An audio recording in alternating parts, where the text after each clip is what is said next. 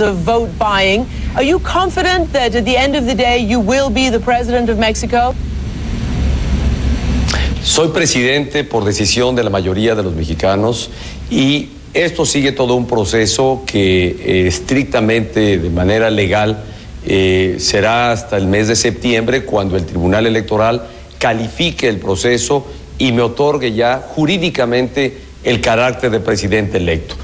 Pero pues es claro que he sido triunfador de esta elección con una amplia mayoría que respaldó el proyecto que encabezo. Does it worry you, these charges of prepaid gift cards and allegations of vote buying?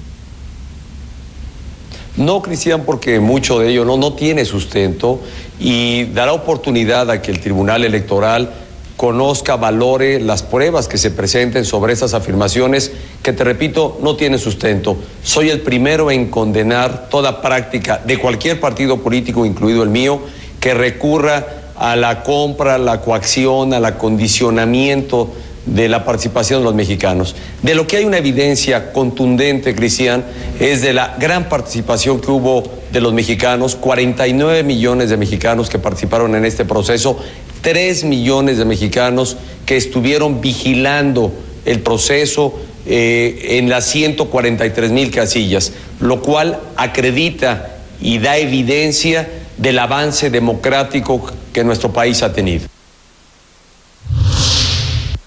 Están en su derecho, solo les puedo decir a estos señores cínicos, corruptos, que nosotros nunca hemos comprado un voto, jamás hemos entregado una despensa a cambio de votos.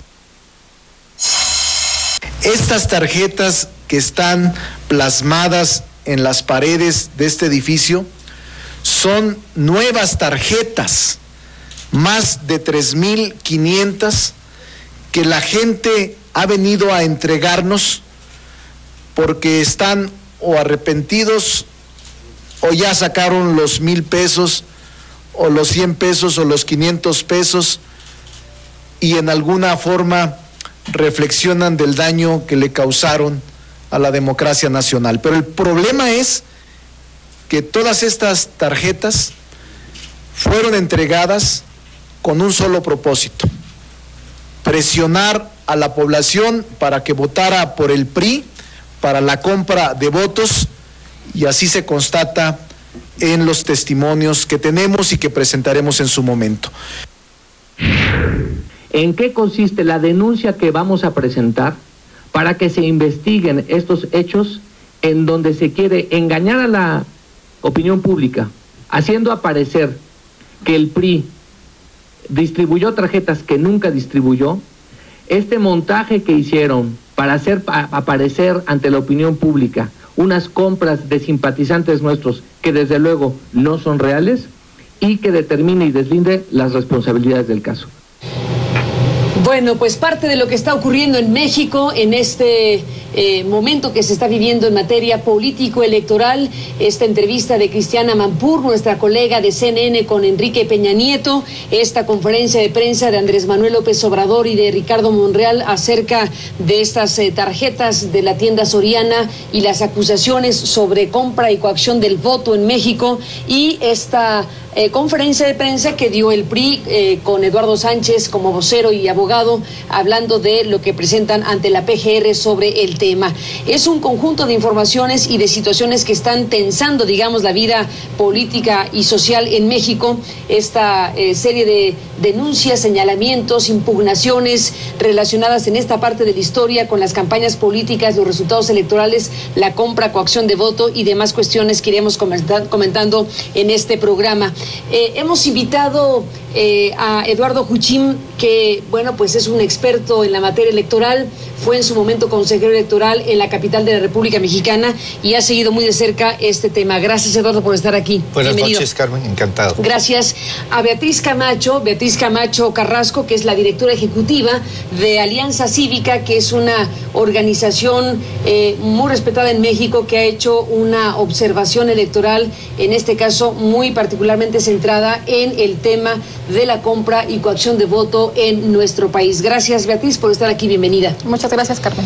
Bueno, en horas en donde también se está dando, Eduardo, eh, esta, eh, este recuento de los votos, que valdría la pena, antes de que entráramos en esta otra materia, un breve comentario. Eh, el recuento de votos más grande de la historia, que esencialmente está ratificando los resultados que se han dado a conocer por parte del IFE en el PREP y en el conteo rápido en la noche del 2 de julio. En efecto, Carmen, está ocurriendo lo que tradicionalmente ha ocurrido, eh, que hay una consistencia y una coincidencia entre los resultados del PREP y los que arrojan los cómputos oficiales. Vale la pena recordar que los cómputos que valen son los que se están realizando ahora a partir de ayer miércoles, eh, que son los oficiales, porque los otros son preliminares que no tienen validez legal, aunque por supuesto tienen la gran importancia de que pueden arrojar el sentido de por dónde va la votación. Eh, pero bueno, no esperaríamos grandes diferencias, mucho menos un cambio en el sentido del resultado, porque eh, el PREP siempre ha sido consistente con los cómputos eh, que se realizan posteriormente y que son los definitivos.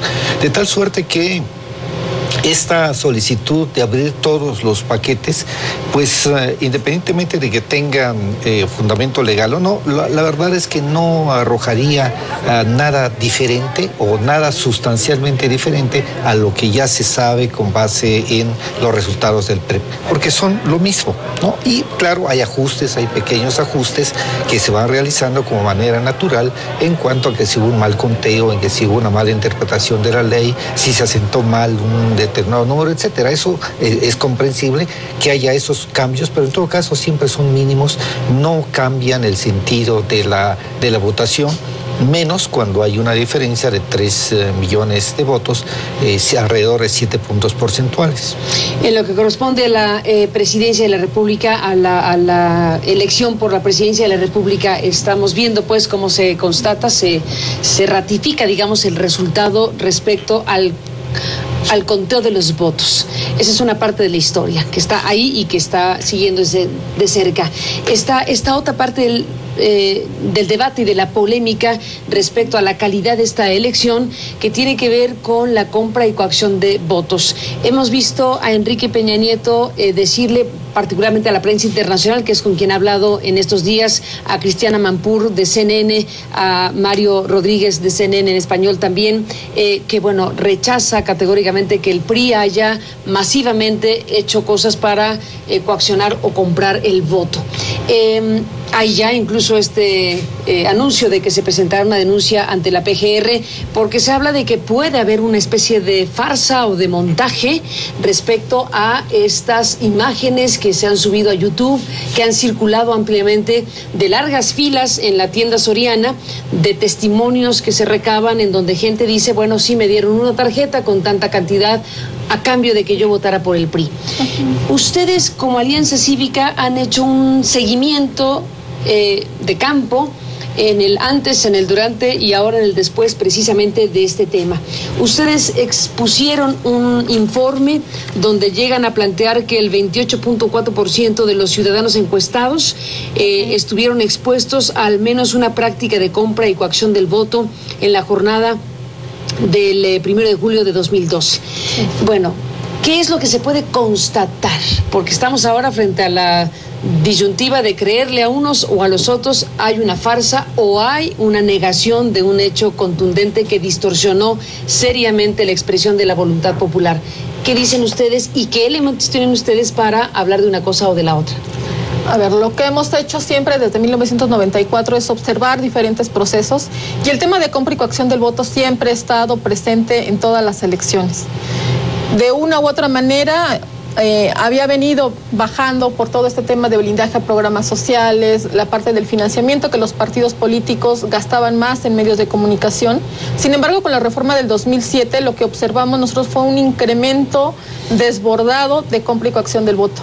Alianza Cívica hizo un estudio... ¿A partir de cuándo?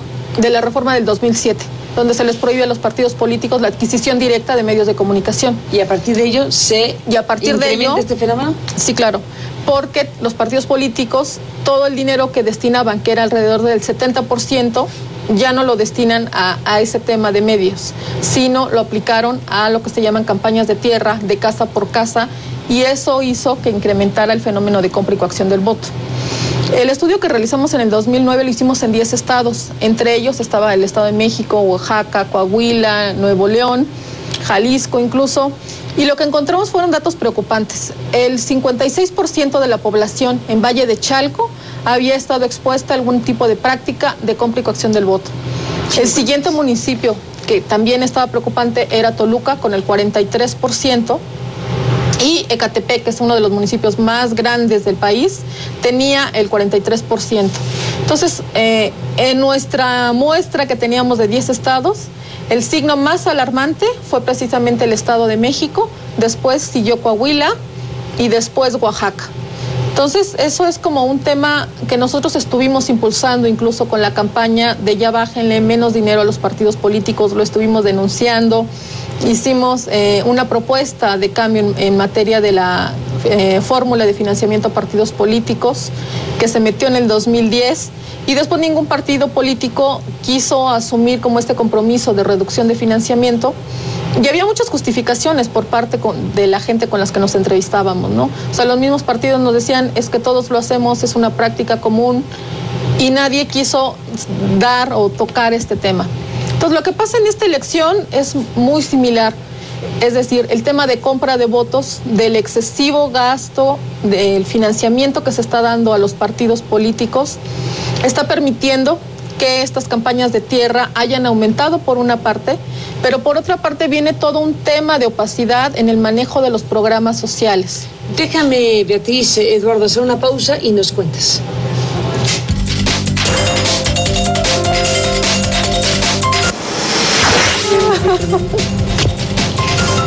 bueno, regresamos con el tema. Bueno, regresamos con esta eh, conversación, Beatriz, Eduardo.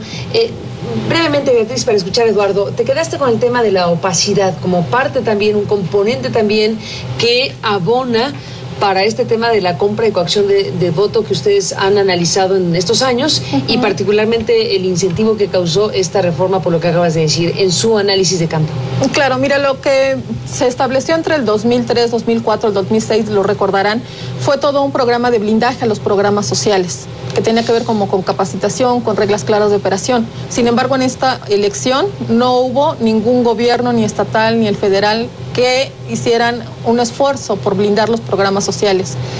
Entonces lo que hemos observado en todas las elecciones es que eh, los disfrazan de programas sociales, todo lo que tiene que ver con ayuda alimentaria, las despensas, uniformes, ahorita las tarjetas vienen disfrazadas también de esta manera que son recursos públicos, que son recursos públicos de los municipios, de los estados, de la federación incluso, que están utilizadas para fines electorales. Eh, Eduardo Cuchín, eh, cuando vemos lo que está pasando, esta tensión política, ¿no? De eh, un de un movimiento como el de López Obrador, de, un, de una propuesta como López Obrador que dice aquí hubo una compra masiva de voto y eso trastocó el orden democrático. Y por otro lado, eh, Peña Nieto y el PRI dicen no, y además los denunciamos por estar eh, falseando el asunto. ¿Frente a qué estamos? ¿Frente ¿Frente a qué realidad estamos y con qué consistencia de información estamos en el caso del movimiento progresista para afirmar lo que se afirma? Pues lo cierto es que eh, de que hubo una compra masiva de, de, votos el primero de julio, sobre todo en ciertas regiones, me parece que no hay duda. O hay sea, ¿a demasiadas no evidencias. Duda? ¿A no. ustedes tampoco? No. Hay un eh, 28.4% que dice que sí. Que, ¿Esto es encuesta que hacen ustedes? Sí. Sí, porque la, la observación eh, no se limitó a la sola observación, esa fue una parte de la tarea de los 500 observadores en 21 estados, sino que también se levantó una encuesta entre un total de 3.128, uh -huh. 3.128, sí, mitad hombres, mitad mujeres, eh, que arrojó ese uh -huh. resultado, que un 28% es altísimo. Eh, Expuestos a una práctica de compra al menos a una compra, a una práctica de compra y coacción. Entonces, pero digo, aparte de esto está el hecho de las tarjetas Soriana, del asunto Monex, de eh, cientos de testimonios que están en videos en YouTube, en Internet, eh, testimonios de gente que, que dice que sí. ¿Qué Es decir, piensas de los que dicen que es un armado el asunto? Que es una cosa de farsa. Yo creo que, que- eso es muy difícil de, de creer, ¿no?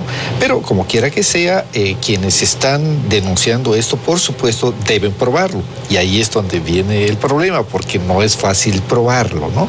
Eh, pero de que hubo, hubo, pero además yo he dicho, creo, que fue la mayor operación de compra y coacción del voto, eh, porque coincidieron 15 elecciones concurrentes eh, en los estados y elecciones locales. Eh, eh, bueno, y, y en el tema del financiamiento que mencionaba Beatriz, que es cierto, a partir de 2007 hubo un, un aumento como que el dinero que antes destinaban a, a medios de comunicación, a pesar de que aparentemente se lo bajaron, en realidad hubo un aumento, bueno, lo dedican a campañas de tierra, sí. Pero para esta compra, que se antoja que fue masiva, el dinero del financiamiento no les basta. Entonces ahí viene una preocupación ¿No alcanza adicional. para lo que alcanza se presume sucedió? Exacto. Si ¿Y estamos, entonces? si estamos escuchando que hubo tarjetas de mil pesos, de 600 pesos, bueno, aquello fue una cosa tremenda. Y entonces viene la pregunta, Carmen, ¿de dónde viene el dinero que emplearon para eso? Desde luego, sabemos que los uh, operadores uh, de esta, de esta eh, pues que es un delito electoral, de este delito electoral, son las autoridades locales, los gobernadores. De tal suerte que uno de los, de los orígenes es eh, el erario estatal. Pero el, el problema es que como no hay transparencia, pues no puede haberla, están como quienes se deslindan de haber participado en esto, bueno, por, por supuesto, ¿no? Porque se trata de delitos electorales, pues ni modo que digan, sí, yo soy un delincuente, ¿no? Si yo sí hice ese delito, no, pues eso no se puede esperar. Entonces, eh, ¿basta ese dinero para esto tan vasto? Pues quién sabe. Y entonces uno ha lugar a pensar de dónde viene el dinero ilegal. Bueno, ilegal es de todos modos si viniera de, de los gobiernos o de una empresa, pero podría tener otro origen eh, peor. Por lo pronto, respecto al tema Monex, hay una hebra, digamos, un elemento consistente de sospecha, que es las dos tarjetas que presentó el PAN ante la autoridad electoral, eh, que eh, iban acompañadas de dos testimonios que le sirvieron al IFE para pedir que se abriera esa cuenta, de la cual surgió la información de que había un fondo de 70 millones de pesos para alimentar cerca de 10 mil tarjetas, eh, en este caso Monex. Y se habla de un tipo de financiamiento que ahora tendrá que continuar la investigación, que nos remite a estructuras paralelas, a la, a la eh, presunción de que hay, eh, por lo pronto, hay un indicio de una estructura paralela para un tipo de actividad de un partido político, en este caso el PRI, para sus funciona- para sus representantes de casilla el día de la jornada. Ese es un elemento que abona a lo que estás diciendo, eh, crea, la creación paralela de financiamientos no producto de las prerrogativas legales. Después de la pausa, regresamos en la parte final con este tema.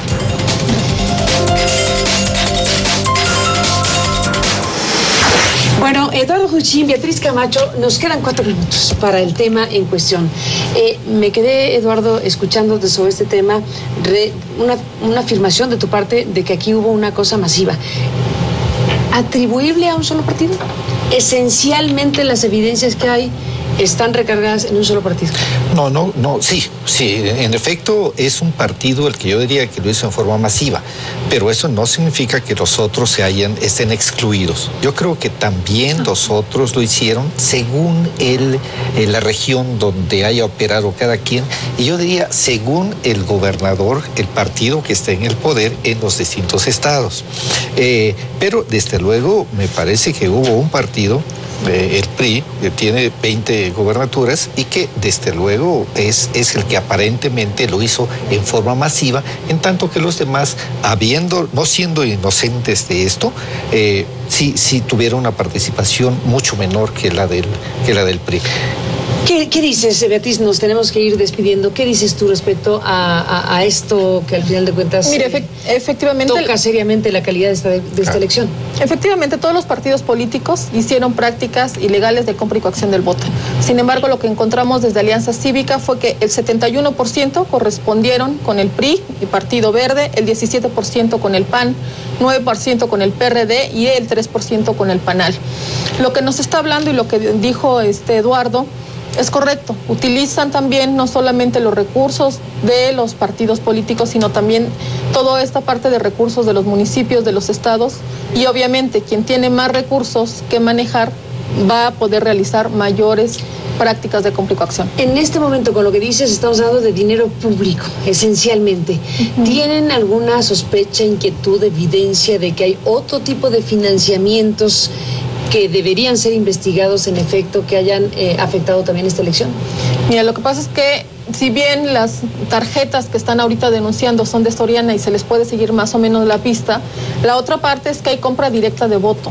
Es decir, hay dinero, ¿Dinero en tal efectivo? cual en efectivo que se les da a la gente a cambio de su ¿Tienen voto. testimonios ustedes directos? Sí, claro. Y tenemos aquí también registrado que le ¿Qué iban han a dar. registrado en sus testimonios, en sus investigaciones Pues directas? mira, de las 170 casillas es que le iban a dar eh, regalos, por ejemplo. Pueden comprar la gente regalos eh, a cambio del voto, pueden comprar animales, pueden dar dinero en efectivo y no necesariamente el tema de la fiscalización va a estar presente, ¿no? Dime una cosa, Beatriz, para ir cerrando esta conversación, a reserva de volver a conversarlo, si me permiten, en otra ocasión. Eh, ¿Qué tipo de mecanismos ustedes han detectado para que la compra y coacción del voto se realice?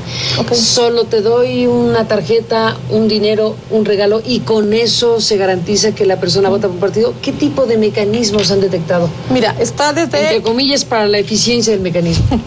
Bueno, una está desde la violación al voto, entonces ponen la mampara abajo de un lugar donde alguien puede estar viendo o incluso una persona al La lado, violación ¿no? de la secrecía del Sí, voto. la violación de la secrecía. Estoy observando desde arriba, por ejemplo. Sí, o a un ladito, ¿no? La otra es que les piden a los ciudadanos que salgan de su mampara eh, con sus boletas, las muestren a alguien y las doblen en ese momento y las, las depositen. La otra es eh, que le tomen una fotografía a su papeleta y que esa viene también acompañada de otra que se puede ser el carrusel. Entonces le dan a- al ciudadano una boleta ya tachada y las tiene que cambiar por una en blanco. Entonces la que ya está tachada van, la depositan en- dentro de la mampara, se guardan la, la otra, entregan la que está en blanco y se va haciendo una especie de carrusel. Y la otra que encontramos fue que utilizaron a niños, niños pequeños para que pasaran inadvertidos, se metían con los ciudadanos a lo largo de la jornada electoral, veían por quién votaban y luego fueran regresaban con otros. sí, claro. así. Pues puede ser eh, una familia muy grande, ¿no? Que esté ahí y que los niños estén ahí participando durante todo el día. O sea, usar al niño para que constatara que votaban por el partido en cuestión Exacto. y salía a decir si votó por tal. Sí. Esos son las, las, las, eh, los testimonios o los elementos evide- de evidencia que ustedes han podido recabar en Sí. este proceso. Exacto. Bueno, pues eh, estamos en el tema, eh, Eduardo Beatriz, es eh, muy importante y muy delicado lo que se está exponiendo en México sobre la calidad esta elección. Habremos de seguir conversando y les agradezco que hayan estado aquí en este programa. Gracias, Eduardo. Encantado. Y gracias, Beatriz, a los dos. Gracias a usted que nos acompañó. Pásela bien esta mañana.